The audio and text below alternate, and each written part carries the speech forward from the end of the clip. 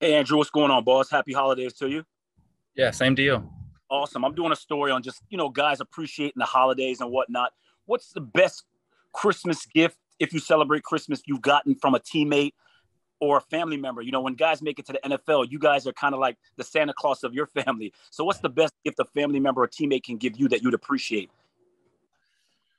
Uh, yeah, I mean, there's a lot of things, you know, from, um, you know, just like a bow and arrow or from, you know, like a grill, a Weber grill or Traeger or something like that. Um, you know, that's obviously one of the, it's something that I use every day and, and, you know, that I enjoy. And what does Christmas or the holidays mean to you as a whole? Oh, it means a lot to me. Um, you know, just like the main reason for it and Christ dying on the cross and, you know, the birth of Jesus. So um, that obviously means a lot to me and my family and, um, just being able to spend time with them and um, in, enjoy each other's company is nothing better. Appreciate it. Happy holidays again. Yeah, thank you. Barry? Hi, Andrew. I know you've been preparing all week for the Saints offense and all of their offensive weapons, but with Ian Book, how much more work for you personally will that create in the next two or three days as far as studying tape of him from Notre Dame and preseason and tendencies that he has? Yeah, for sure.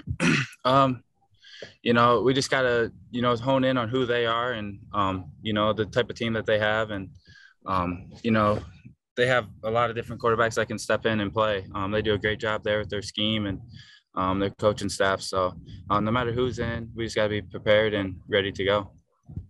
Thanks. Thank you. Omar? Andrew, I want to How's ask you. Uh, I've been asking a lot of uh, the, his teammates, but what's one thing you'd like to take from Emmanuel Ogbah's game and incorporate it into yours?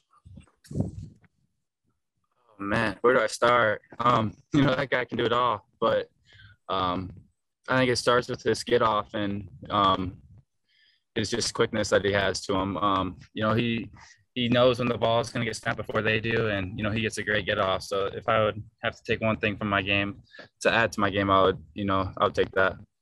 So hold on, you haven't asked him about this get off and, and keys and what what Hey, he's I looking have. for.